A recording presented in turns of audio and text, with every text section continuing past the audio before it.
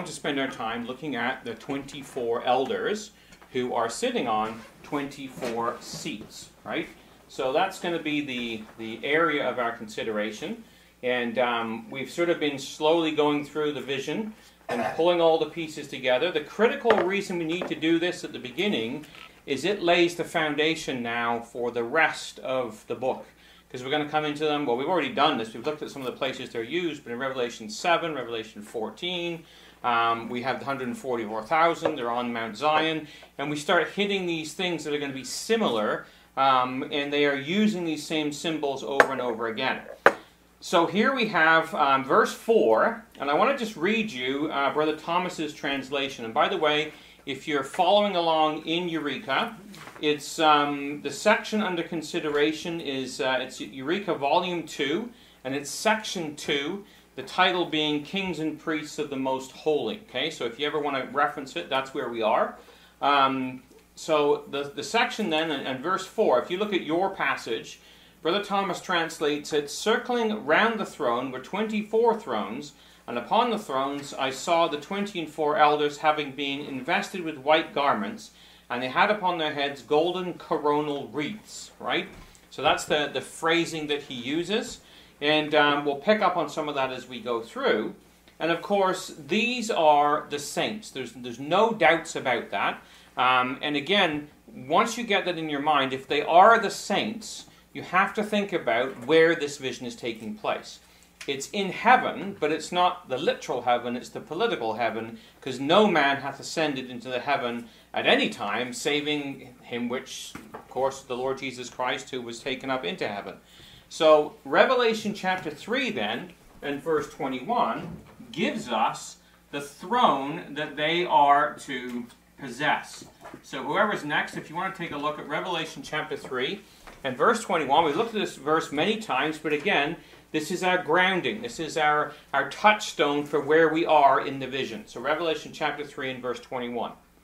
To him that overcometh will I grant to sit with me in my throne even as I also overcame, and am set down with my Father in his throne. Okay, so the throne that we get to join is Christ. In basically, as we've looked at it in the past, David's throne.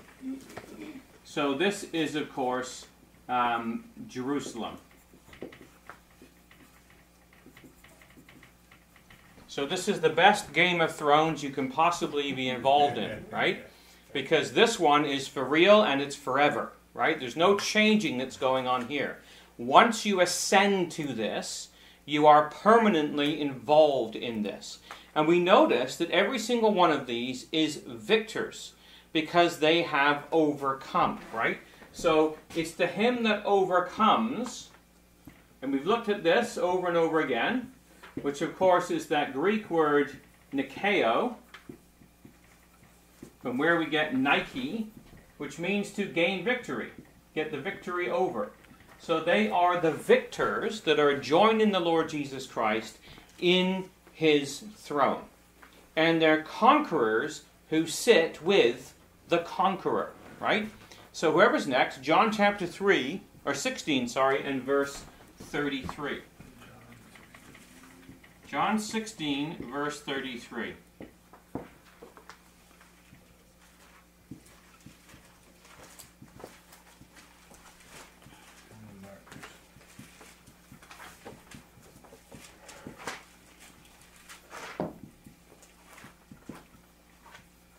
Sixteen and thirty-three of John. Yeah.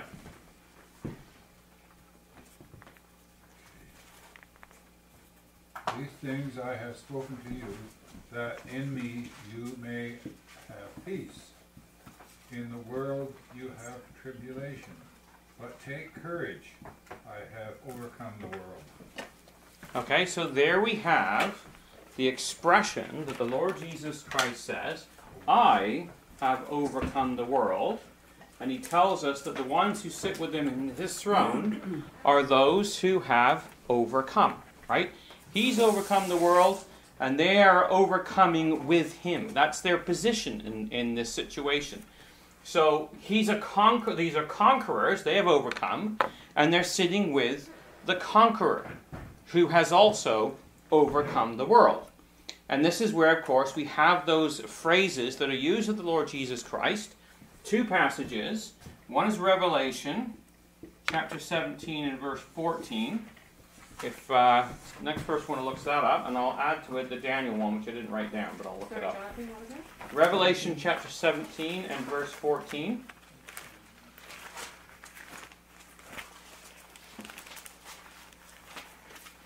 Commander of Commanders in Daniel? Yeah.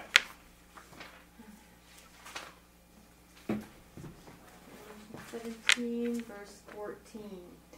These shall make war with the Lamb, and the Lamb shall overcome them, for he is Lord of lords and King of kings.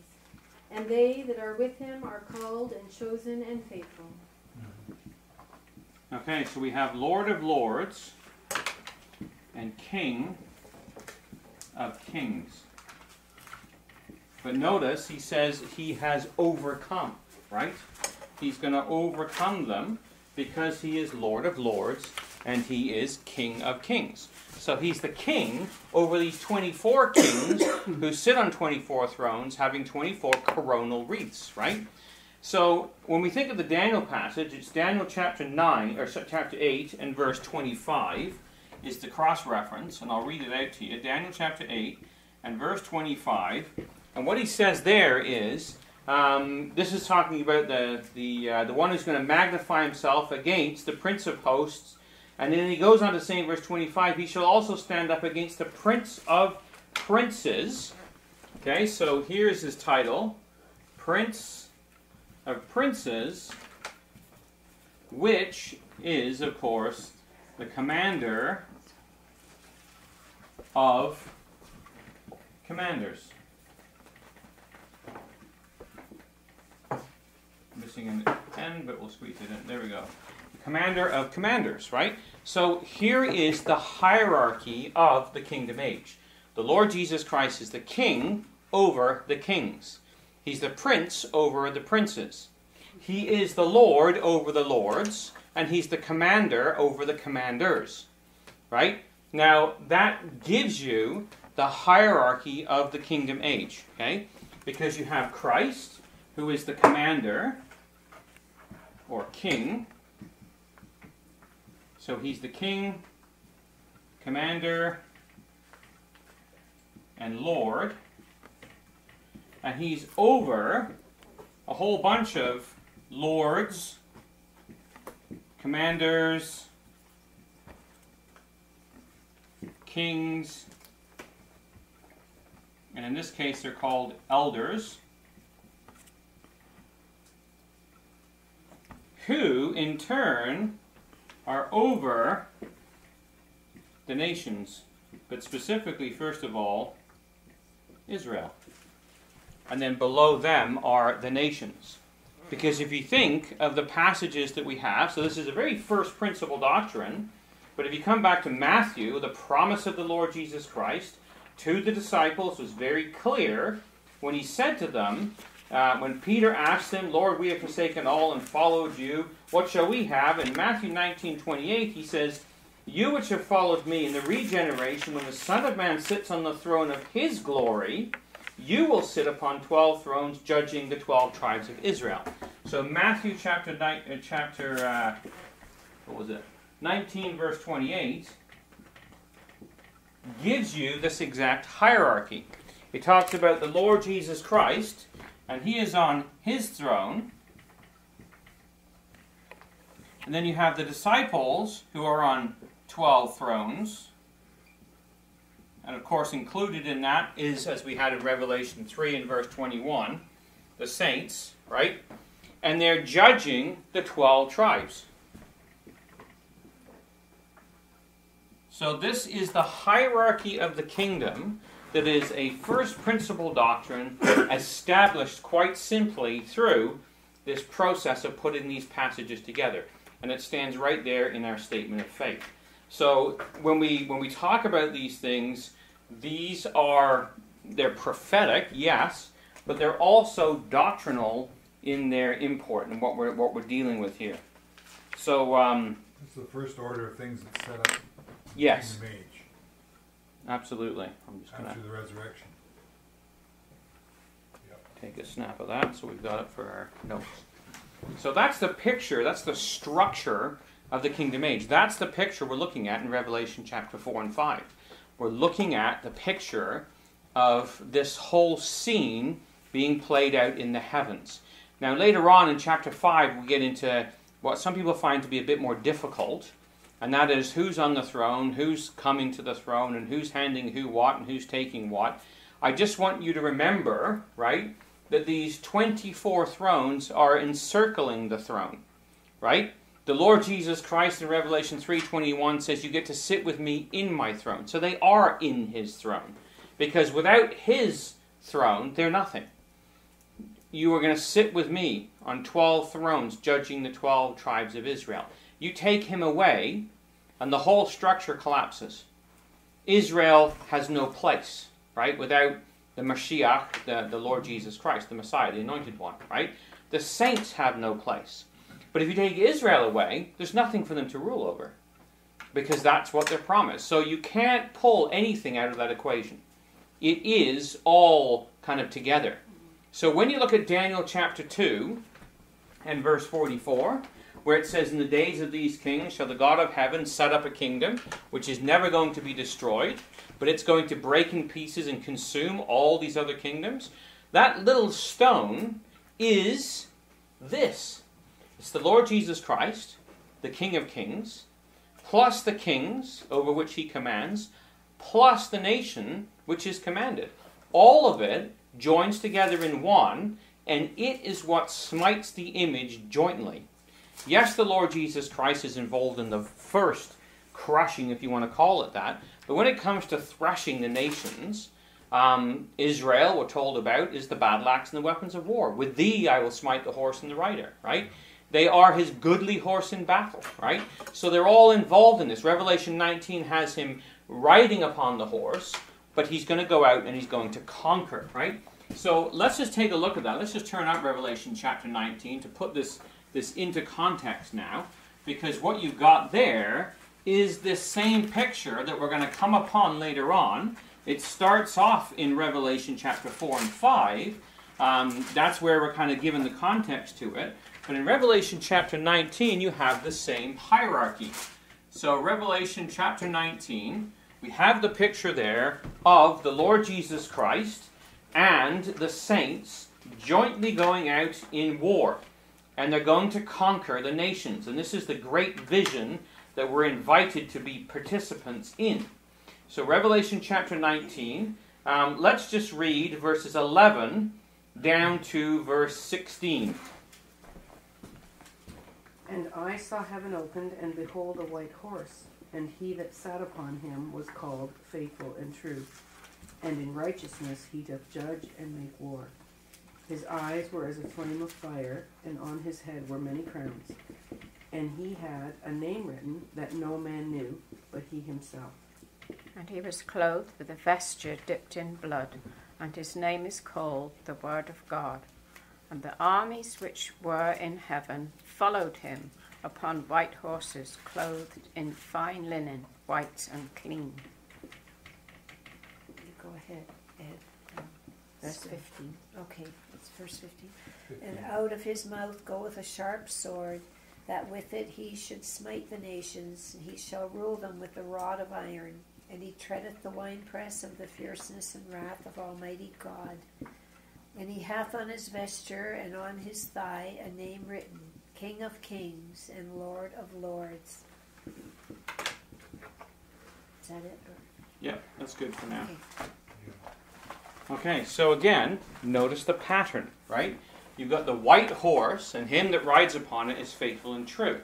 His name is the Word of God. That's the title that's given to him. So we know right there that that's the Lord Jesus Christ. He's also called the King of Kings. Well, what kings? Well, they're the armies in heaven that are clothed in white. Now, he's clothed in white too, but his, his is dipped in blood because it's the blood of the new covenant, right? We are sanctified in him. He has made us white and he's washed us in the blood of the lamb, so to speak, right? So the armies in heaven are clothed in white and they're also on white horses. So he is the commander, right, on the white horse, right? So there you have him, commander, or as it calls him here, the king of the commanders. And they are also upon white horses. Okay? So you say, well, what then are these white horses? And the answer to that, of course, is given to us in the book of Zechariah. If I got the right one. Just a minute. It's given to us, yes, Zechariah chapter 10 and verse 3.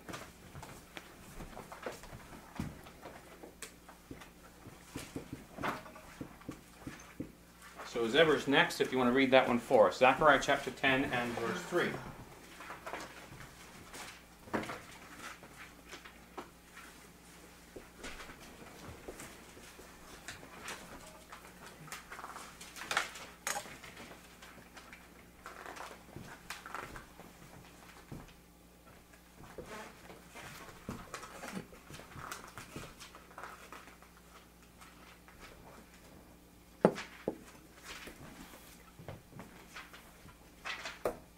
Is that commanders with an S?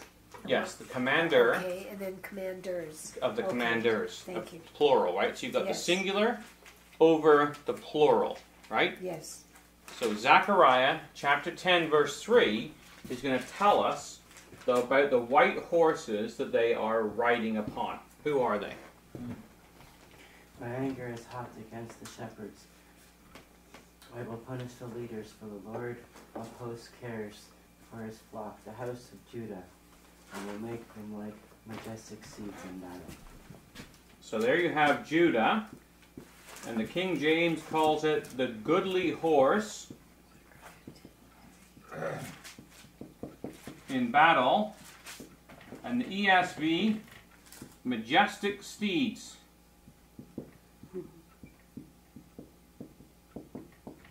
So you have the same structure. You have Christ, who's the commander, over the saints or the elders over Israel. That's the horse that they ride. And of course, something that is ridden is Rakab, from which we get the word Kerub, right? And so you have that which is ridden or inhabited by the deity who is now being manifested in the saints. So Israel becomes God manifested in the kingdom age. Just like we're supposed to be God manifested now, they're not perfect, we're not perfect, but that's their job. Right? Their job is to manifest the deity in the kingdom age, and in this case it's Yahweh Sabaoth, he who will be armies, right? So this is the picture that we're given in the book of Revelation. When we talk about 24 elders, we can see that these are the 24 rulers over the kingdom age. And notice that what we read in Revelation 19 was that heaven was opened. Well, that's exactly what we read in, in Revelation chapter 4, right? And what is the heaven? Does anybody remember the passage?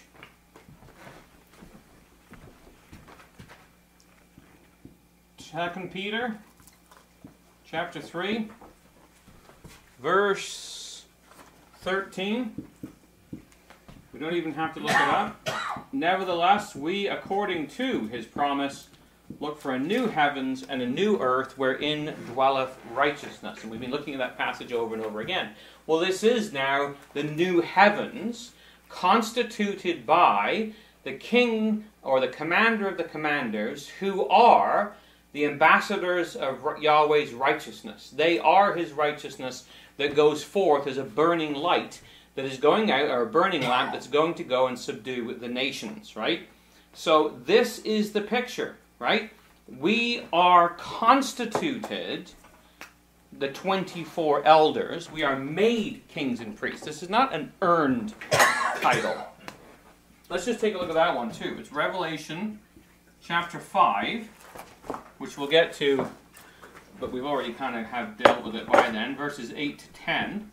If there's any doubt as to who this is, and if there's any question as to who it might be, um, that is clarified in Revelation chapter 5 and verses 8 to 10.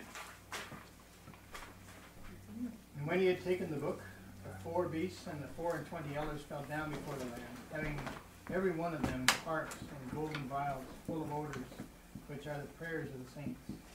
And they sung a new song, saying, Thou art worthy to take the book and to open the seals thereof.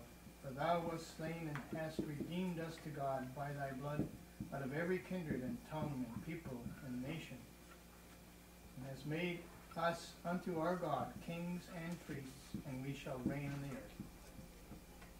Okay, so there you have it. That's why his vesture is, is in blood. Redeemed to God by thy blood, right?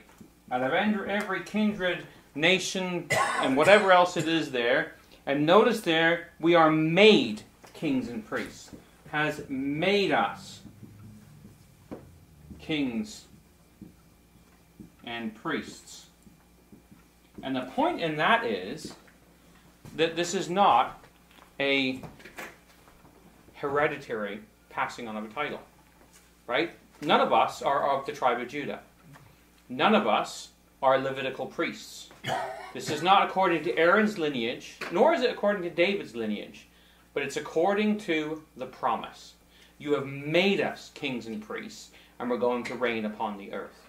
So, this is something that we are constituted by the new covenant. This is something that how we have become this, of course. Um, we won't look this one up, but just by way of reference, is Acts chapter 15 and verse 14, um, where, of course, we read Simeon hath declared how that God at first did visit the Gentiles to take out of them a people for his name. And that's exactly what has been going on. They are a people that have been taken out for his name. And Acts chapter 14 and verse 22, they have come out of great tribulation. They have been drawn. Where did Dr. Thomas- That's the process that they've gone through in order to get to this rank, right? They've come out of a great tribulation that's been going on upon the earth, right? So this is the process. This is what we're looking at. This is the vision in the book of Revelation is the commander over the commanders who are over Israel, all of them tied together in this scene, and this is what we're seeing in Revelation 4 and 5. Now it's going to come up again and again and again and again throughout the rest of the book of Revelation, right? This is all the way through. This is the common theme now that is going to get repeated. As Brother Paul calls it, the snapshots of the kingdom that we get, punctuating the trumpet or the seals and the trumpets and the vials, if we ever get to those before we're taken away. So they're all going to be there all the way along, but we get these visions that are given to encourage us all the way along. But it's a vision that is not peculiar to the book of Revelation. It's a vision that's been there from the very beginning. So this is the vision of those who overcome. So if you just take a look at Revelation chapter 2 and verse 10, because they've come out of great tribulation. Revelation chapter 2 and verse 10 is the one passage. And then if whoever's next can read 2 Timothy 4 verse 8.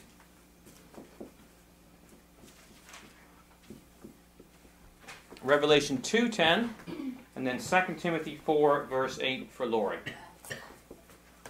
I think. Or where did we get to? Sorry, it's Ariel. You're behind your dad there, I can see it. He obscured you. Fear none of those things which thou shalt suffer. Behold, the devil shall cast some of you into prison, that ye may be tried. And ye shall have tribulation ten days. Be thou faithful unto death, and I will give thee a. So we have suffering, being tried, and then we have the crown of life. So the 24 elders are made up of a people who have suffered in this life. They've been tried, but they're not to worry about the things they're going to go through. They're not to worry about the loss that they would have. Remember what Paul, Peter says, we have left all and followed thee. They lost family, they lost husbands, wives, lands, inheritances, everything that matters to people in this life. They lost it all. And the Lord says, don't worry about it. You're going to sit with me on 12 thrones judging the 12 tribes of Israel. You cannot hold a candle to that. There's nothing that can compare. So, whatever in this life, the inheritances that we give up don't matter. And you think of brethren that, that I remember this one brother we knew when we were young. Actually, if you know uh, Samantha Bailey Yeah. and, and um, Cassandra, their grandfather was Albrecht von Gattenstedt. Von Gattenstedt, he was a baron in, in uh, Germany. And he gave up his baronage, his title, and all his lands and everything. Gave it all up. Because he couldn't belong to, like being a lord in the House of Commons or whatever it would be, or in the House of Lords, I guess, in England, right? He couldn't do it. Like he couldn't be part of that system because he's part of a system to come. So he gave it all up. His brother thought he was stark raving mad. You know, but happy to take it from him as the little brother, but he, he lost it all and gained everything. Brother Harry Tennant was offered a knighthood by the Queen. Wouldn't take it. How could you? Right? Because like we are oh, knights, but of an entirely different realm altogether, oh, right? So it's not this world, it's not this age, it's not the, the wreaths of this world, the, the, the crowns that fade away, like the Olympic athletes would have run for in, in times gone by. It's a crown that fadeth not away that we're looking for. And this is this group. That's what constitutes this group. So, Just a question. yes, How how do you decline knighthood? Sorry, Queenie. yeah, respectfully decline. Not What- into What it. was he, uh, what, what Sorry. was he up for it for? What I have no idea. I You don't would want have said it very eloquently. but- Yeah, I'm to, sure. even though I'm one of the 32 duchies in Germany, I don't want any part of it. Yeah, That's what they said. yeah. Basically, you, you turn down your right to the inheritance in this life. You Who was the forego it. queen at the time? Elizabeth. And I don't think that Yeah. would surprise her because had her uncle not abdicated, she wouldn't be queen. Yeah. Yeah. So, Well, there you good go. point. There you go. Okay. Although his reasons were a little different. Very Um. Second Timothy. Second Timothy chapter four So and verse eight. Yes, sorry, Charlene. I keep missing you guys. Uh, 2 Timothy 4, verse 8. Henceforth there is laid up for me a crown of righteousness, which the Lord, the righteous judge, shall give me at that day, and not to me only, but unto all them also that love his. Righteousness. Now notice, it's what the Lord is going to give me. He has made us. Yeah. Right? It's not some, something that we earn. It's not something that we have from that point of view. It's what we are given. Right? And so that's the process that's going on here. And he says, Look, I've, I've fought the good fight, I've kept the faith, right? Henceforth, there's laid up for me a crown of righteousness, which the Lord, the righteous judge, is going to give me in that day, but not just me, all those who love his appearing. And that's got to be the character of this, this whole people here that are going to make this up. They love his appearing. And that is more important to them than anything else, than all other titles and so on and so forth that they might achieve in this life, is the love of his appearing. And that picture has been there right from the beginning. We're going to go back into Psalm 122. It's one of the songs of degrees, which, of course, are the songs of ascent.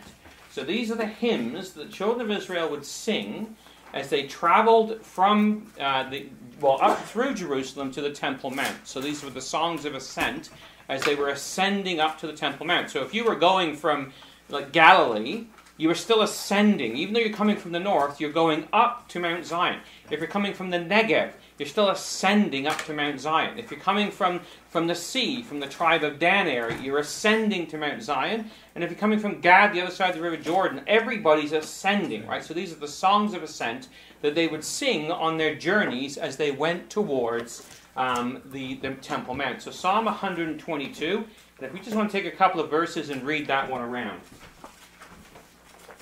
I was glad when they said to me, Let us go to the house of the Lord.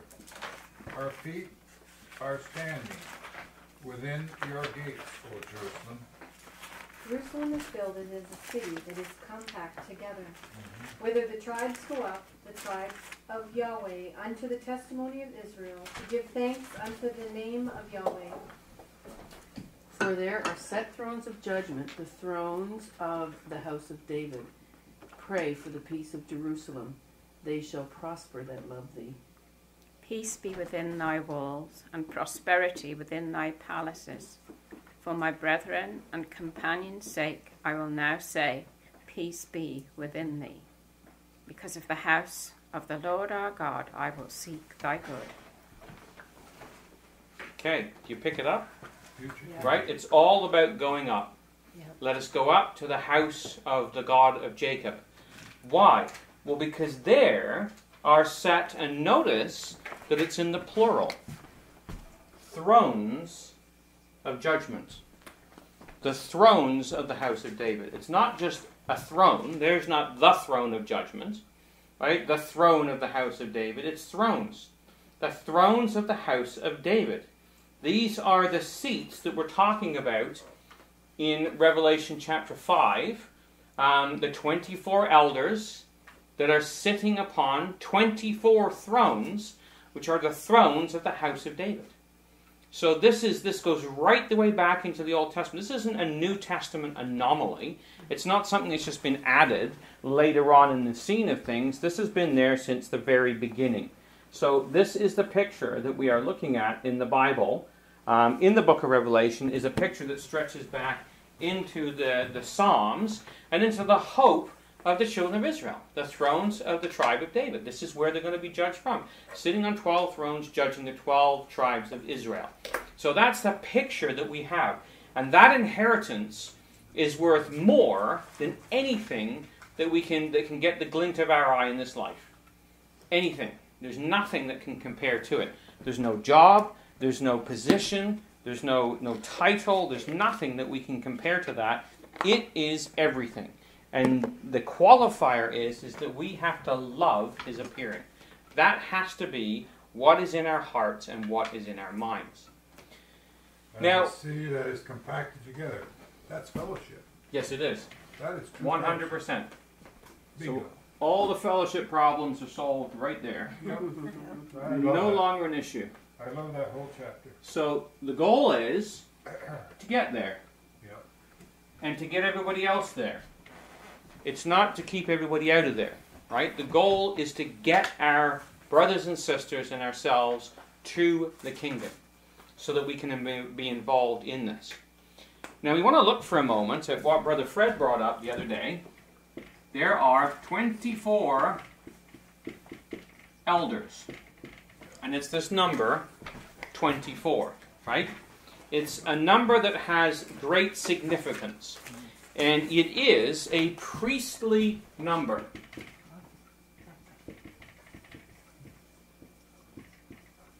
Remember that passage we read? Thou hast made us to God kings and priests, and we shall reign upon the earth, right? So this is kings and priests that we're talking about. So the number 24 is a number of great significance. Let's take a look at Revelation chapter 4, verses 13 to 14. 7, sorry, Revelation 7, verses 13 to 14. And you begin to see now, when we get into Revelation 7, we've already interpreted the sign. So now you're just following the narrative, because the sign was interpreted for us in chapter 3 and 4. In fact, it's also interpreted back in chapter 1, but we'll take a look at Revelation chapter 7 and verses 13 and 14. And one of the elders answered, saying unto me, What are these which are arrayed in white robes, and whence came they? And I said unto him, Sir, thou knowest. And he said to me, These are they which came out of great tribulation, and have washed their robes, and made them white in the blood of the Lamb. Okay, so there you have They've died down through the ages. the saints who have come out of great tribulation, which is exactly what we were just looking at here in the rest of those passages. In, in Timothy and in Revelation 2, they've suffered, they've been tried, they've been given white robes. And so he says, well, what are these that are arrayed in white robes? Well, these are ones who have come out of great tribulation and have washed their robes and have made them white in the blood of the Lamb. Now, the interesting thing is that's priestly robes that are talked about there. Priestly robes weren't really usually white, they were completely covered in blood, right? Yeah. But they were the ones that were, were killing the sacrifice. But in this case, their robes are made white because of the blood of the Lamb. They're not conducting the sacrifice, so to speak. The, the sacrifice has been conductive and it has had a purifying effect upon them, right? It's changed them. So these are the ones that are purified and made white. And if we just take a look at the letters to the ecclesia, Revelation 3, verse 4, this is our Sardis letter that we, we looked at last year. Revelation chapter 3 and verse 4. Right? This was part of the reward um, when we look at what was said of them. Revelation chapter 3 and verse 4. Ed, if you could. You, you have still a few names in Sardis, people who have not spoiled their garments, and they will walk with me in the white, for they are worthy. Okay, so there you have it. These are those who walk in white, is those who have not defiled their garments. And so we have all those passages like Jude that we're supposed to have compassion on some, pulling them out of the fire, hating even the spotting of the garments by the flesh. Right? So that's what we don't want to have is our garments that are soiled by the activities of the flesh. Right? So we participate with the Lord Jesus Christ in putting to death the flesh by not participating in the activities of the flesh. We are cleansed, we are made white by the blood of the Lamb. And so, if you take a look at this, this whole idea of these priestly garments, we were in Psalms. Let's go to Psalm 132 because it interprets the sign for us in this psalm. What's this idea of priestly garments? Psalm 132 and the 16th verse. I will also clothe her priests with salvation, and her saints shall shout aloud for joy. So there you have it. The priests are clothed with salvation. Okay, they are clothed with salvation. That is the garments of the high priest. That's what they represent is salvation. Right? So one other passage just to add to this, and that comes in the book of Revelation as well, where it defines for us what this means. And it's Revelation 17 when we have this section of the Lamb's wife, and it tells us there what her white robes are all about. Um, or chapter 18, sorry, I think it is. Uh, if I can just put my finger on it. Nope, 19. Revelation chapter 19 and verse 8.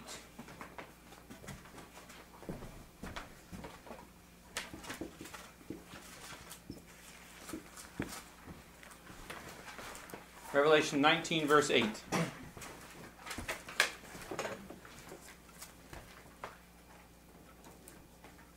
to her was granted that she should be arrayed in fine linen, clean and white, for the fine linen was the righteousness of saints.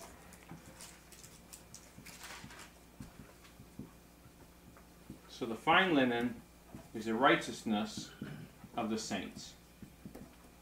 Right? What is righteousness? How do we obtain it?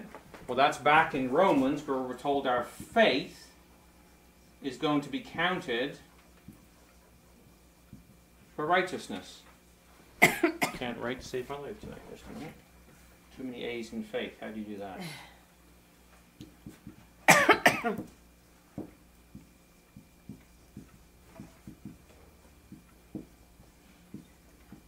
faith is counted for righteousness. And then Romans 10:17 says, anybody remember?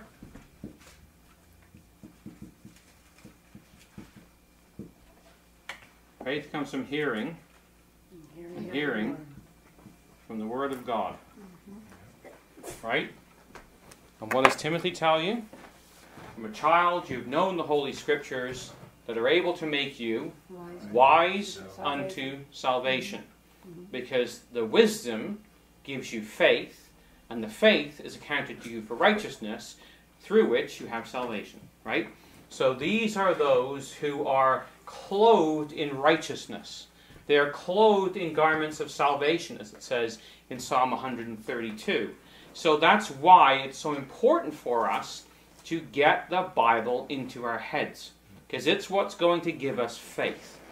Hearing it, reading it, getting into our minds, cleansing, washing out the rubbish, and then putting in the good stuff is going to cleanse us so that we have the faith that was once delivered to the saints working in us and directing us in everything that we do.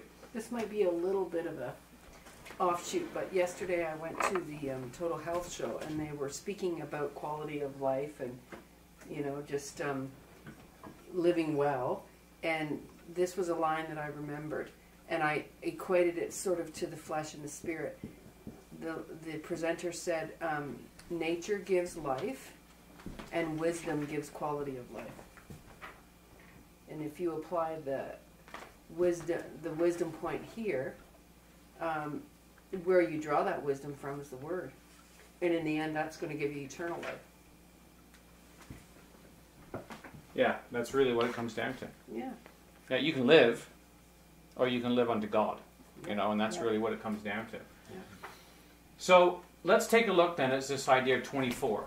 We've picked up on the fact that it is priestly. They're wearing white robes. They're the priestly robes, right? They are the linen ephods, the, the linen, right? One of these who are clothed in white robes. She's clothed in linen. We read in Revelation 19, clean and white, but it's linen, right? So that is the ephod dress of the priests, right? First Chronicles chapter 24 tells us a little bit about the divisions of the priesthood. So let's just go take a look at that and see what happened when David divided out the priesthood when we go back into um, the book of Chronicles. Because again, this is the kingdom of God, of the new constitution. But remember what the Lord Jesus Christ was asked of his disciples. Acts chapter 1, verse 6 Lord, wilt thou at this time restore again the kingdom to Israel? So the restoration of the kingdom means a restoration of the priesthood, right? Because they're going to be kings and priests. It's the restoring of what once existed in a different form, as we're going to see, but it's a restoration. So, uh, First Chronicles 24, in verses 1 down to verse 3.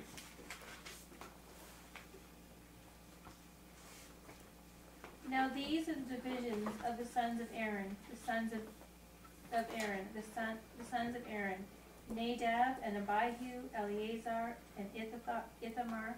But Nadab and Abihu died before their father, and had no children. Therefore Eleazar and Ithamar executed the priest's office. And David distributed them, both Zadok and the sons of Eleazar, and Abimelech of the sons of Ithamar, according to their offices in their service.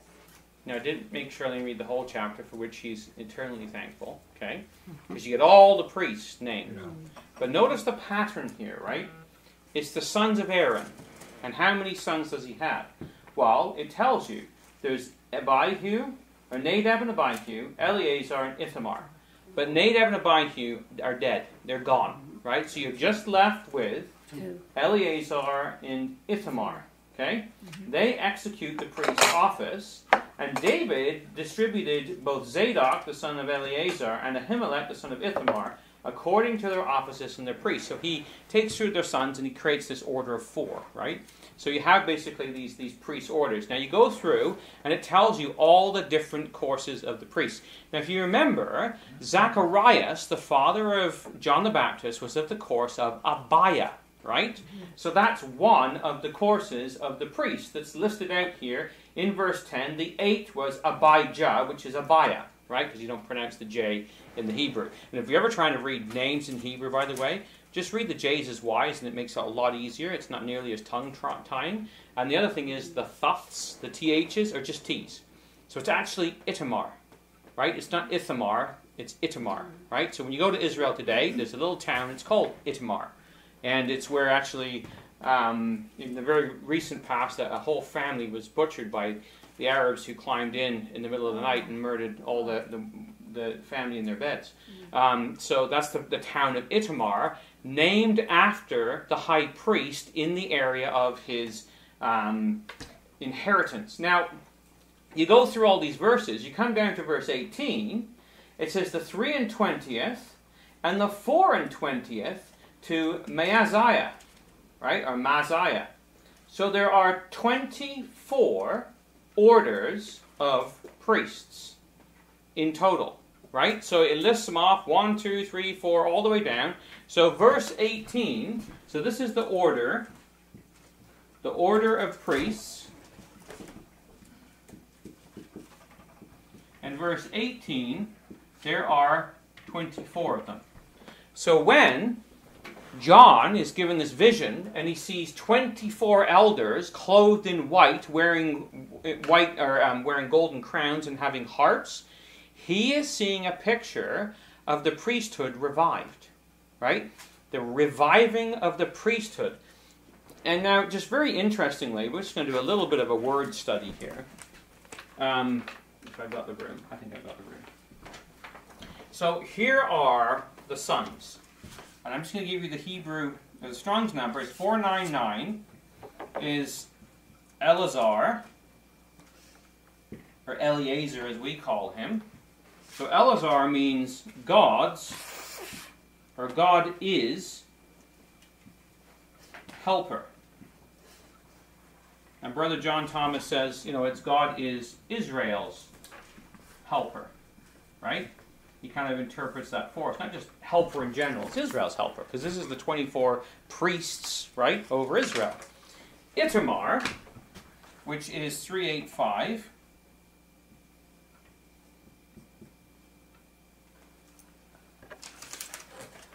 I can not scribble all over it so it's illegible. And that's kind of I Y T A M A R, Itamar, right? Is the place of palm trees. And you might think that's fairly random.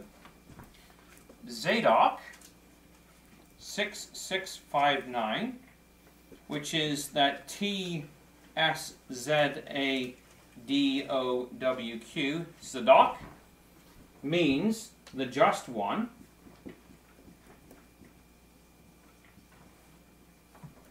And then you have Ahimelech, which is 288. And in the Hebrew, it's the Ach, Achi Melech. So anybody guess what the Melech is? King. King, right? So it's the brother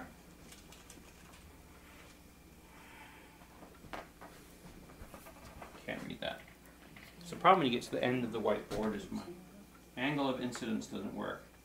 Brother of the king.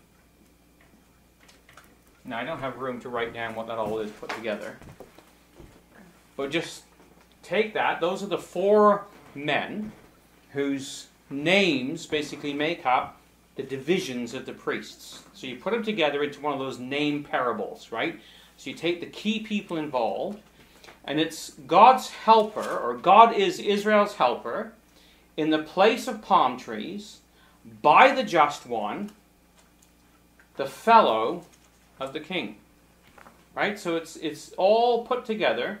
You have this idea of the fellows of the kings, the place of the palm trees. Okay, so it's God is Israel's helper in the place of the palm trees by the just one, which of course is Christ, with the fellows of the king. Right? Now, you think, well, why palm trees? What's significant about a palm tree? Probably very rugged, aren't they? They can live a long time. Is They can live a long time. yeah.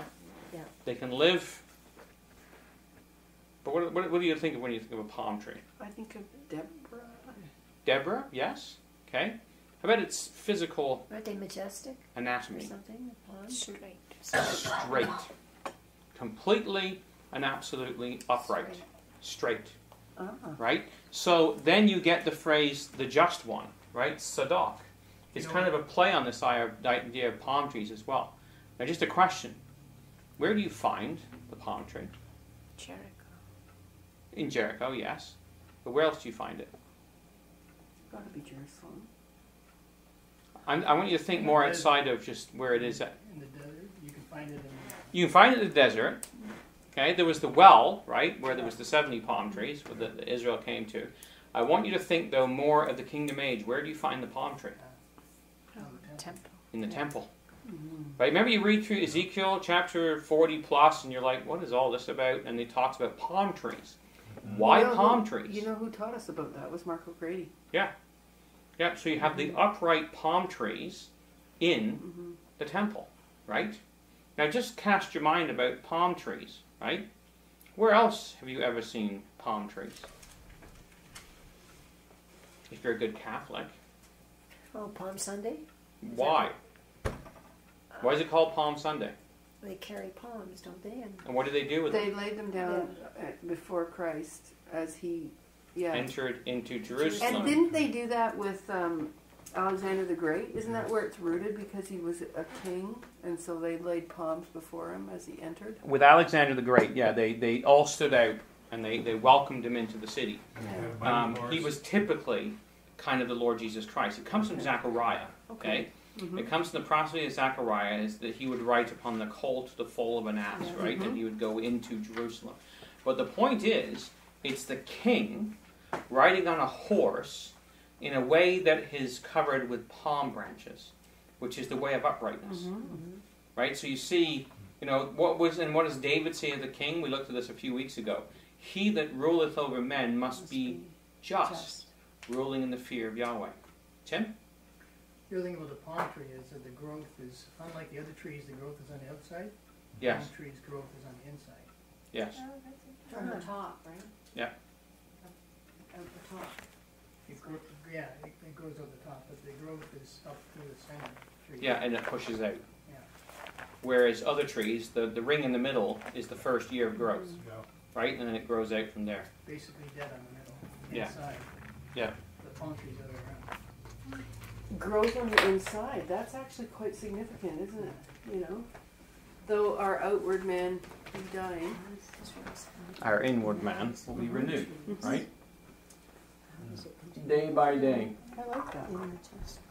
Okay, so taking that thought into mind, then, you've got 24 elders who are clothed in white, that are the number of the priesthood that was used by David when it came to the time of the, the temple as it was set up. There are palm trees involved in this, in the name that's given to us there. And they are going to be um, in the sanctuary of the Elohim, right? This is, this is really what it's pointing forward to. And this, of course, is the destiny of the Lord Jesus Christ. I just want to circle back on two passages we've looked at.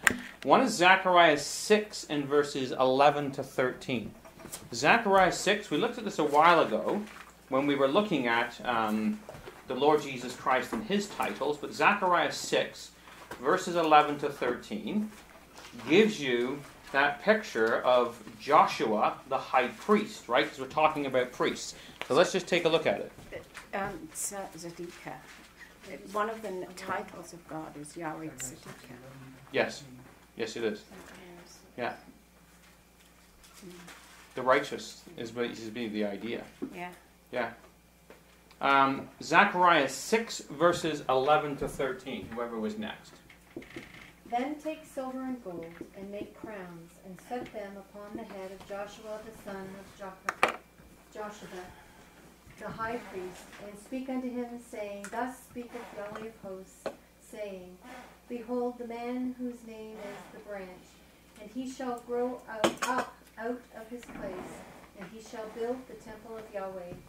Even he shall build the temple of Yahweh, and he shall bear the glory and shall sit and rule upon his throne, and he shall be a priest upon his throne, and the counsel of peace shall be between them both. Okay, so pick it up. The man whose name is the branch. Now we looked at that. Mm-hmm. He's going to grow. Which direction? He's going to grow up, right? And he's going to sit upon a throne, which we've been looking at. That's the 24 elders. And he's going to be the priest over his house. Right? So all those pieces that we just talked about all come together in that verse in Zechariah. That's the Lord Jesus Christ. Right? That is the Lord Jesus Christ. And of course, we're not going to look it up, um, because we've looked at this before. I'm just going to cite it for you. Psalm 110, where we read, Thou art a priest forever after the order of Melchizedek, right? So he's a priest forever after the order of Melchizedek. It's not the Aaronic order, it's not by heritage. Actually, I should just write it on here. It's Psalm 110. It's a priest forever, which Paul interprets as unchangeable when he references this in um, something like that. How do you spell it? Unchangeable in um, Hebrews chapter 7. Okay? priest forever after the order of Mel Kid Zedek. Okay? Now, where have we heard those before? Just did. Right? Melchi Zedek.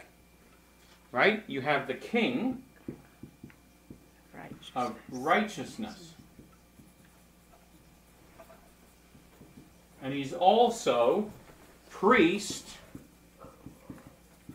of Salem. Peace. Or sorry, king of peace. Priest of the Most High God.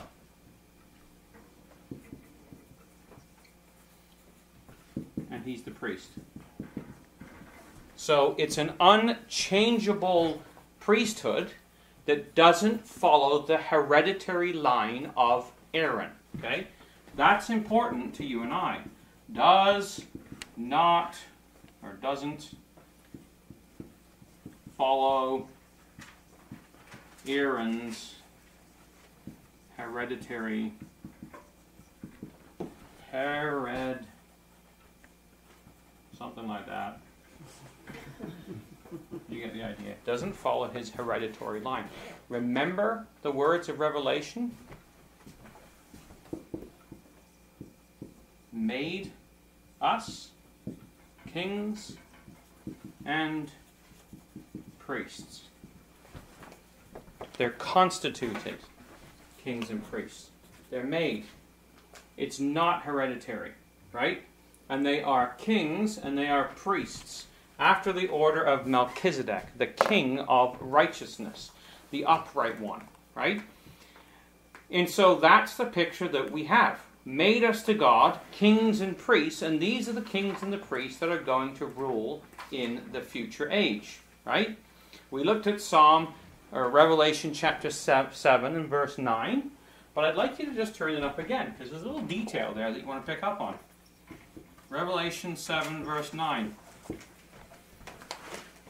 Go back. Make sure you turn this one up. Remember Itamar? What was his name meaning? Palm tree? Palm trees, right? The place of palm trees. Revelation 7, verse 9. What does it say? It says, After this I beheld, and lo, a great multitude, which no man could number, of all kindred, of all nations and kindreds, and people and tongues, stood before the throne, and before the Lamb, clothed with white robes, and palms in their hands. Oh, that's interesting, isn't it? White robes. And palms. branches- Palm branches were in. Why palms? Right? I mean, have you ever wondered that? Like, totally random? Why palms? It's not totally random. It's taking you back to the orders of the priesthood. Right? The white robes is priestly. The palms, Itamar. Right? It's taking you back to the 24, right? This is the order of the new order of the kings and of the priests. Now, there was the other name. So that's Itamar, right? Itamar. Okay, we've got him there. Actually, I should do this in a different color. Let's just go with green because we love green. This is Itamar. Read it. You got the, the, the king of righteousness, right? That was the other one that we had there, which was, of course, um, Zadok, right? There he is, Melchizedek, right? Itamar, they've got palms in their hands, right? All these pieces come together. Uh, let's take a look at John chapter 12, 17 and verse 12.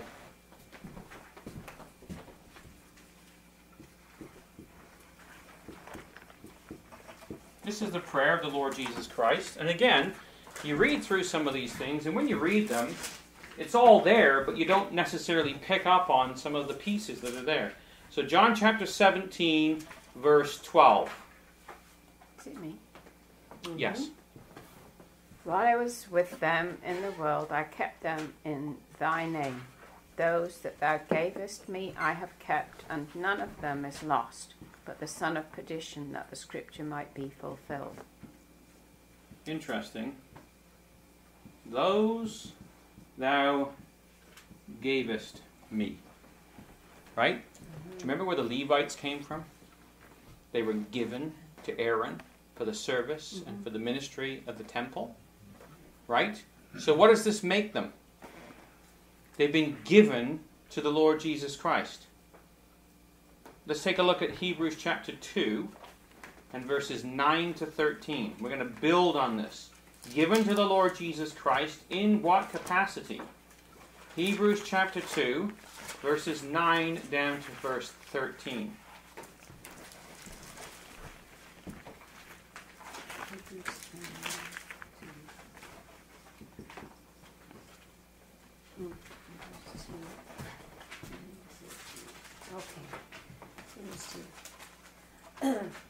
But we see Jesus, who was made a little lower than the angels for the suffering of death, crowned with glory and honor, that he, by the grace of God, should taste death for every man. For it became him, for whom are all things, and by whom are all things, in bringing many sons unto glory, to make the captain of their salvation perfect through suffering. Sufferings. Is there one more verse? Or? Uh, down to verse 13. Okay, for both he that sanctifieth and they who are sanctified are all of one, for which cause he is not ashamed to call them brethren, saying, I will declare thy name unto my brethren.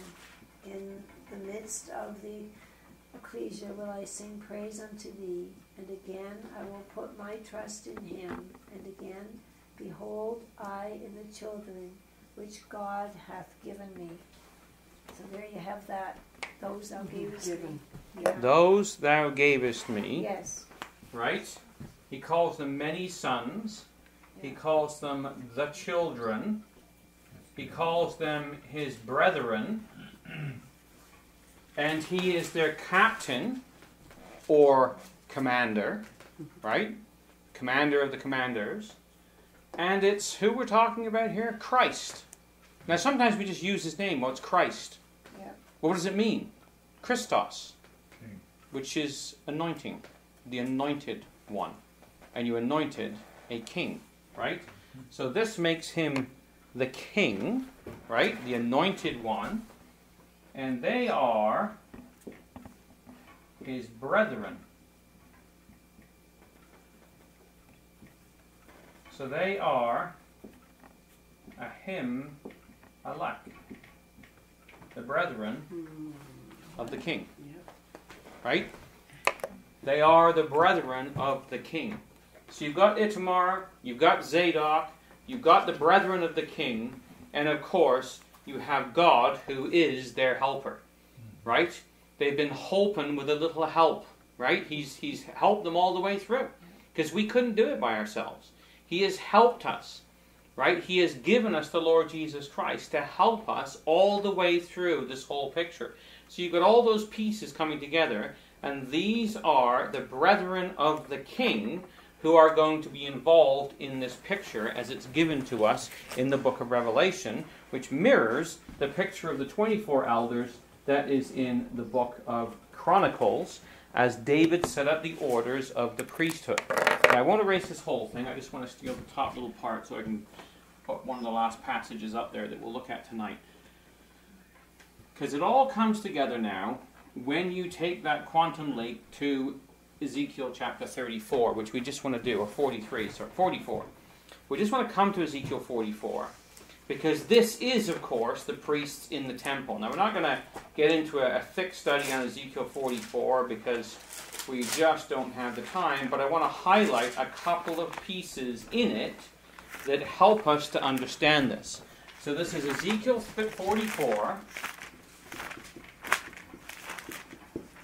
And we want to look at verses 15 to 16.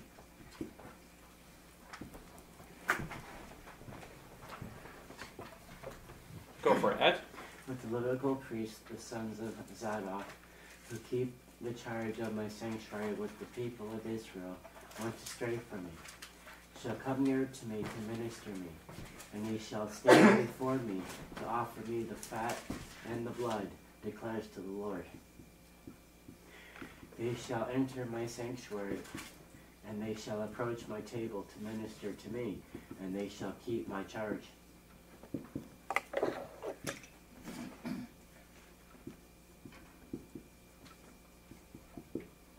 Okay, so just pick up on this.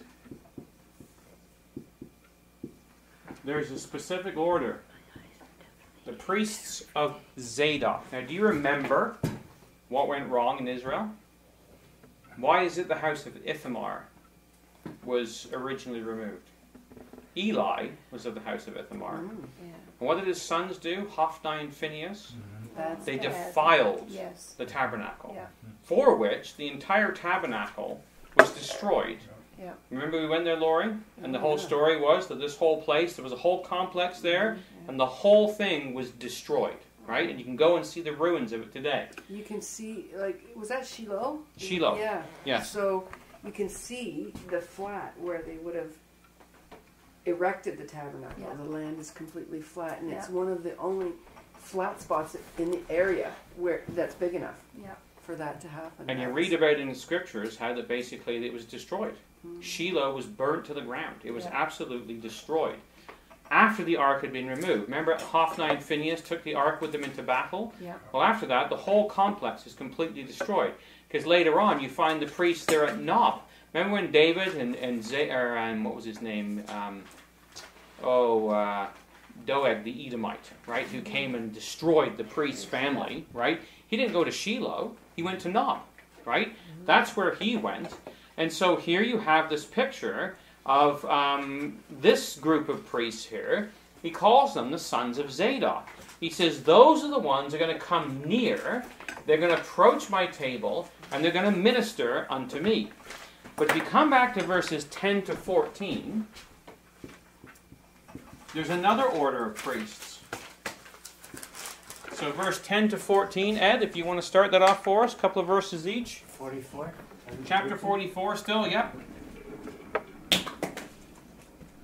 But the Levites who went far from me, going astray from me after their idols, and Israel went astray, shall bear their punishment. They shall be ministers in the sanctuary, having oversight at the gates of the temple, and ministering in the temple. They shall slaughter the burnt offering and the sacrifice for the people, and they shall stand before the people to minister them. Because they ministered unto them before their idols, and caused the house of Israel to fall into iniquity. Therefore have I lifted up mine hand against them, saith the Lord God, and they shall bear their iniquity, and they shall not come near unto me to do the office of a priest unto me, nor to come near to any of my holy things, in the most holy things. But they shall bear their shame and their abominations which they have committed. One more? That's good. Okay, so notice the difference. You have the Levites. Okay? They're the ministers in the sanctuary still. They're still in order. There's two orders of priests here. Okay? You've got the order of Zadok. Okay? Those are the ones who are going to come near. And they're going to minister to me. Okay? Then you've got the Levites. Now they're going to minister as well in the sanctuary, but they're going to minister to the people. Uh-huh. And they are not going to come near me to do the office of a priest, because that's going to be done by these other people. So what you have here is the saints, and you have natural Israel. There's a delineation made. The mortal Israelites will not be coming near to Yahweh because they're mortal. Yeah. God cannot look on sin. No. They cannot enter into a sanctuary. They cannot come near to Him. They cannot approach His table. but the saints, and that includes all of the saints David, Aaron, Moses, throughout all the ages, so a great portion of them are Israelites who are now immortal. So, and, and really that's an important distinction to make. It's the immortal saints and mortal Israel. The immortal saints and mortal Israel, because the Levites went away, but the immortal saints followed the order of Zadok, who stayed and ministered. And so when David changed the priesthood, when he changed the priesthood, he changed it so that the, uh, the saints would be there with, uh, or the sons of Zadok were the ones that would then take over that ministry. Now, we started a little late because you guys yapped too much. So I just want to, um, I want to throw in just a couple of passages here, um, just to kind of tie this together. Um, and that is this. Come back to First Chronicles. In chapter 25 and verse 1. First Chronicles 25 verse 1 and verse 3. So whoever gets there, if you want to read that out for us. First Chronicles 25, verse 1 and verse 3.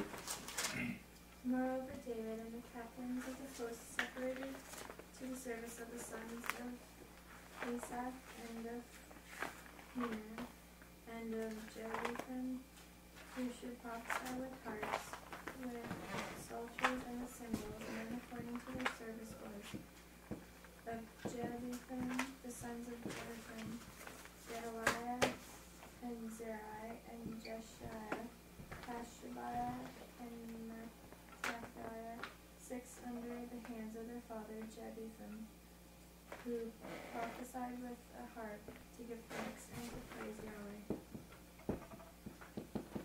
Okay, so here we have another order. We're not going to get into all the detail of it. You can, you can spend the time to do that if you'd like. In chapter 25, verse 7, he describes how they were broken up into 12 companies as well. Okay? What I want you to pick up on is these are the singers. Okay? These are the singers, the sons of Asaph, and you also have here Jeduthun and Heman, right? Well, Heman was the grandson of um, Samuel. I think it was Heman, or was it Ethan? I can't remember which one. One of them was the grandson of Samuel. Okay, so he set this up, right? Yeah. Okay, you got Asaph. They're the singers, but notice what they're armed with. What do they got in their hands? Harps. Harps and lyres, yeah. Okay, they have harps, and they are singing. Hark, saith I. Let's go back to Revelation chapter 5. Two hundred and eighty-eight of them. They all were prophets. Revelation chapter 5. Another random little piece of information that we're given that turns out not to be so random after all. Verse 8. Whoever's next. Revelation 5, verse 8.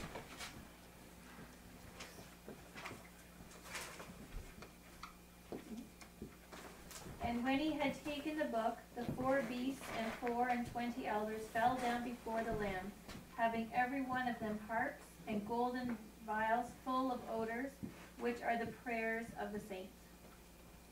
Oh, look at that. 24 elders have harps, right? Which ties them back to the Levitical order of David that was established of the singers. Come to Revelation 14, verses 2 to 3. Isaiah twenty-six and one is the harps too. Stick with the Torah. Revelation 14, verses 2 to 3. Harps is in there again. Yep, yep, yep. And I heard the voice from heaven like the sound of many waters, and like the sound of loud thunder. And the voice which I heard was like the sound of harpists playing on their harps. And they sang a new song before the throne and before the four living creatures and the elders. and no one could learn the song except one hundred and forty-four thousand who had been purchased from the earth. And what are the 144,000 clothed in, just by the way? 12, 12. 144,000 that are redeemed, right? They are virgins. And of course, this is the, the whole section where we, we come into this picture of the 144, which is, as Mom said, 12 times 12,000, right? That's the picture that you got 12 12. It's 24, right? 144, right? It's the square of that. You have 144,000, and here they are. They are all gathered together on Mount Zion, and they have their father's name in their, in their forehead, and they are singing. And they have a new song, and they have harps, right? They are Levitical priests of the Melchizedek order. And what is the sound of their Hold music like? Levitical priests of the Melchizedek order. So they're Levit- like in the order of Melchizedek, or in the Levitical establishment that David did, right? The Mhm. priests in the temple, but they're not of Aaron's sons. They are Melchizedek. They're not hereditary priests. They're in the role of hereditary priests. They are made to their God, kings and So they're priests. immortal saints. They're the Same immortal as saints. We're not hereditary. We're not hereditary. Okay, gotcha. You know, we're not. My last name's not Cohen, say- right? I'm not of the Levitical order, order right? Yes, he did. Okay. not Cohen. It's Bowen. So Oh, you never know. You can twist that. of Melchizedek, so that's the saints. Oh, Off by one letter. it's twisted it now. Twisted it. Okay. Yeah. So, what's the sound of their music like? Um, Revelation 14. many Was- waters? No. Many waters. Yeah. And what else? Great thunder. No, it. Oh yeah, there we go. Loud thunder. Thunder. Go back to Revelation chapter 4 where we just were.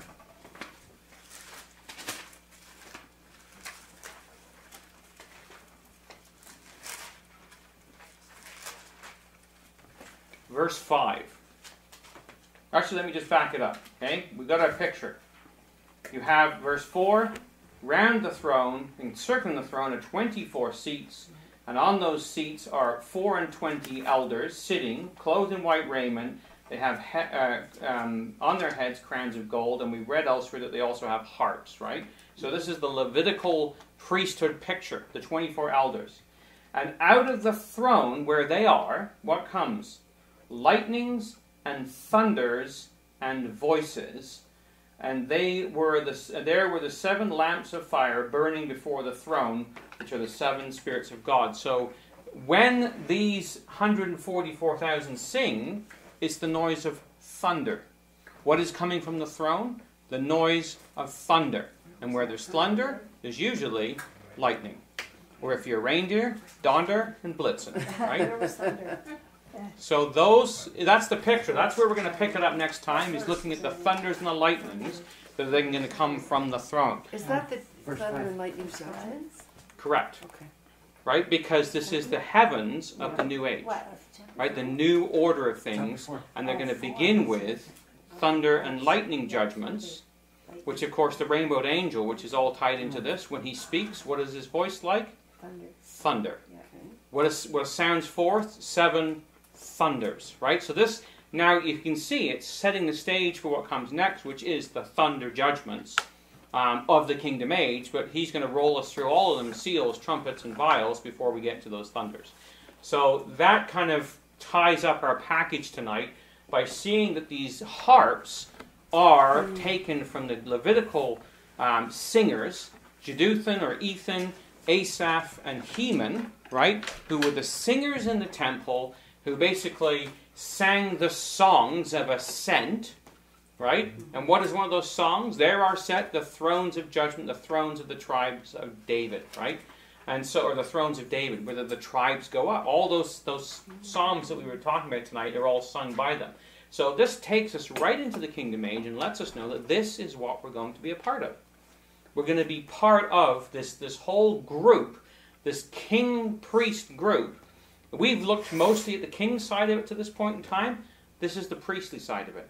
The priestly side, basically, of being involved in the Zadok priesthood, coming near to him, approaching his table, and ministering. Now, that should tell you something about approaching the table now. Right? It's something that you really want to do. It's something that really we want to be involved in every single week is approaching the table of the Lord. Because if we can't be bothered to do it now, It won't mean anything. why would he invite us to do it Yeah. in the kingdom age? Why did these guys not get to go to the table? Mm-hmm. Because they forsook it for idolatry.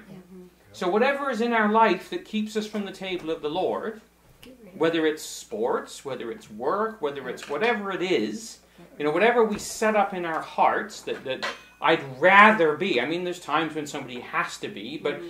The rather be, you know, I'd rather be doing something else, and what a weariness it is to go to a memorial meeting, line upon line, precept upon precept, or as Brother Glenn said, like it's a privilege to be here. It's an absolute privilege to come to the table of the Lord because coming to the table of the Lord now qualifies us and prepares us for coming to the table of the Lord in the future. If that's your ambition. If you want to be there in that day. Mm-hmm. To me, pretty cool. Mm-hmm. Something that I definitely want to be involved in, so I must be about my father's business now and in his house now if I want to be in his house and about his business in the future. That's the critical Well, thing. also, we're gonna be useful to Christ. Mm-hmm. Absolutely. Recognized or whatever.